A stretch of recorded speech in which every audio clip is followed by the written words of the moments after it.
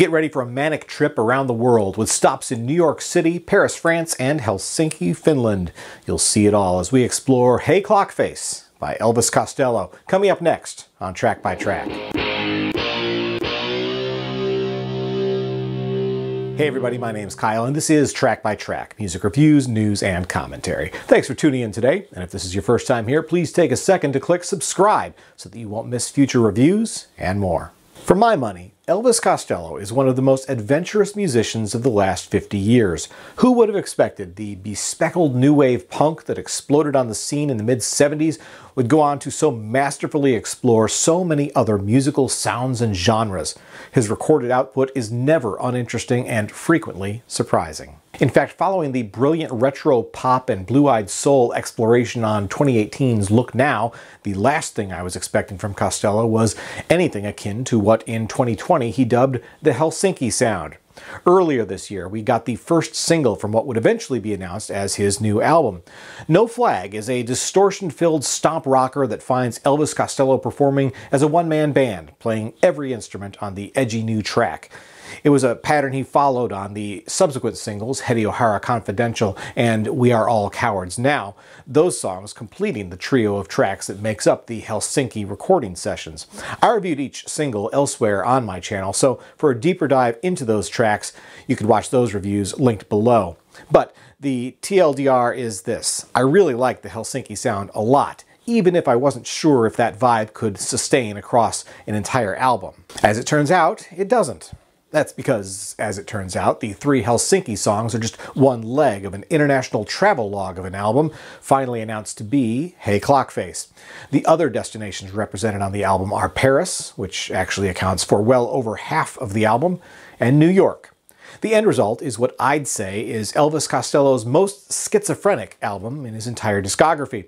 Of course, Costello always channels different characters in his songs, but rarely have we seen or heard such wildly divergent sonic portraits within a single song cycle. It is undoubtedly intentional that each of the three cities represented on Hey Clockface would take on a unique tone and texture. Of the three, I remain the most enamored with the trio of Helsinki tracks. While I wouldn't go so far as to say they sound like his early rebellious era, I certainly feel like he's at least tapping into a similar frame of mind. There's an energy and drive to these songs that I feel like we haven't heard from the man in decades. Not that it was missing, he simply hasn't been exploring that sound for a while.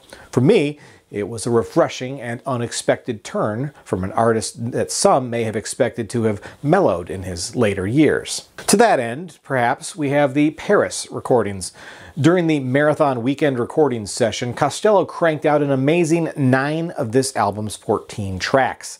In stark contrast to the Helsinki sound, the Paris songs are very much an ensemble affair, featuring a quintet of French musicians on brass, woodwind, cello, and percussion, along with his longtime pianist, Steve Nieve.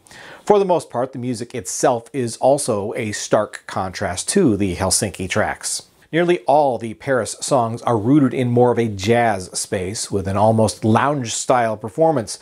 I can imagine seeing this music played live in some darkly romantic cafe or bar. I Do, Zula's song, simply begs to soundtrack a smoky barroom scene in a black and white movie with its practically weeping instrumentation. Later on, What Is It That I Need That I Don't Already Have we get the most Paris-sounding song from the session with a gentle guitar waltz that finds Costello singing with slightly more grit, almost Dylan-esque. Meanwhile, on The Last Confession of Vivian Whip and The Whirlwind, Steve Nieve's piano takes center stage. That later song actually sounds a lot like the tracks Costello recorded for the album Painted from Memory with the legendary Burt Bacharach in 1998. Maybe it's the flugelhorn that does it. It certainly isn't the backing vocals, though. They're bordering on ELO, which is fine for Jeff Lynne's style of music, but it feels weirdly out of place here. In fact, those same backing vocals are my only gripe about what would otherwise be the most beautiful song on Hey Clockface, the album closing byline.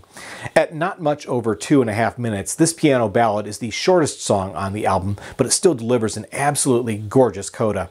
Yet the lush, layered backing vocals that show up about midway through threaten to derail everything. It feels very cheap to me and all but erases the intimacy of the moment. Now, I've never been to Paris, so I can't say for sure, but I wouldn't expect the ragtime style would be very prominent with both I Can't Say Her Name and the title track, Hey Clockface, How Can You Face Me, Costello's quintet goes all in on that genre. Hey Clockface, in particular, is a curious creature.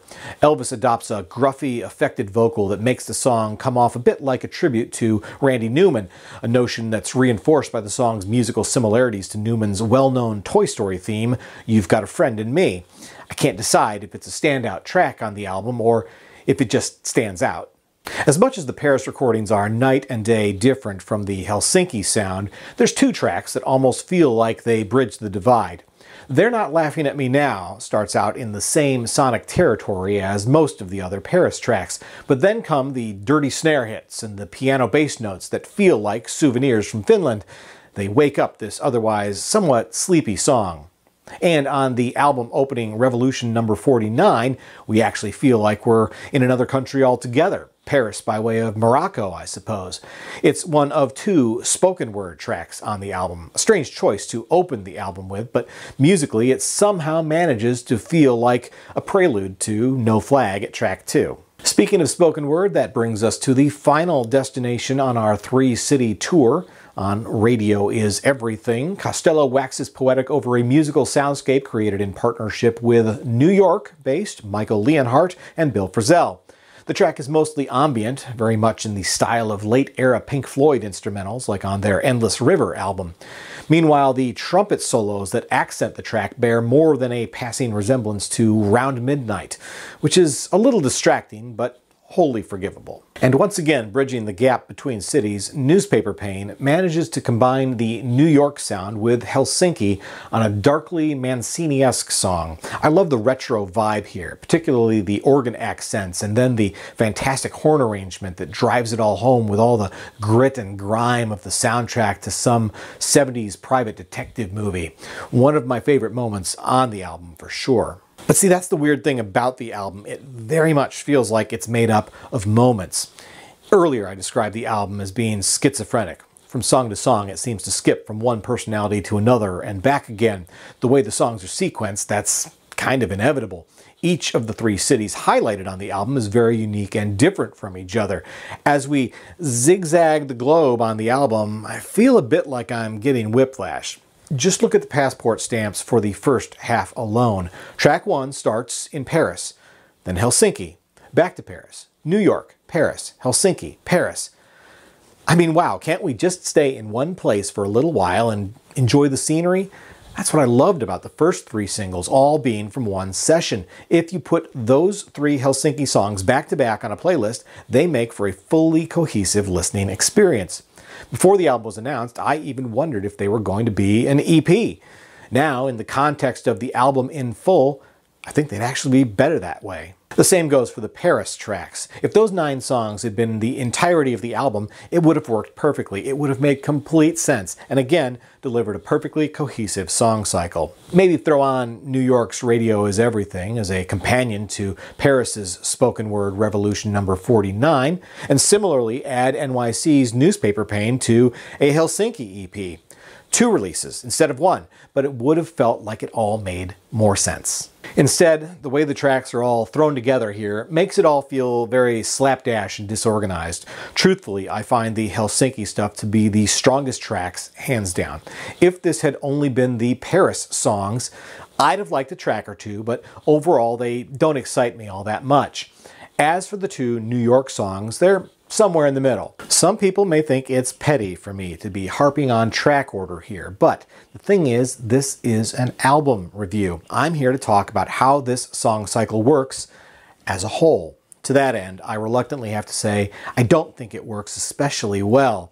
The whole is not greater than the sum of its parts. Would the album be better if the songs were sequenced and grouped by city? Probably. Would they have been better off as an album and an EP? Again, probably yes. Even still, the songs themselves are more often merely good than either great, as a few are, or just meh, as a few others are. So, I'm giving Hey Clockface by Elvis Costello an X rating of 6 out of 10. It's a travelogue mixed with multiple personality disorder that's sometimes frustrating, but never less than interesting. Once again, my name's Kyle, and this has been Track by Track. If you like this video, please be sure to give it a thumbs up, plus check out some of these other videos below that I think you might also enjoy. And of course, be sure to click subscribe, because true music fans always want new releases the day they come out.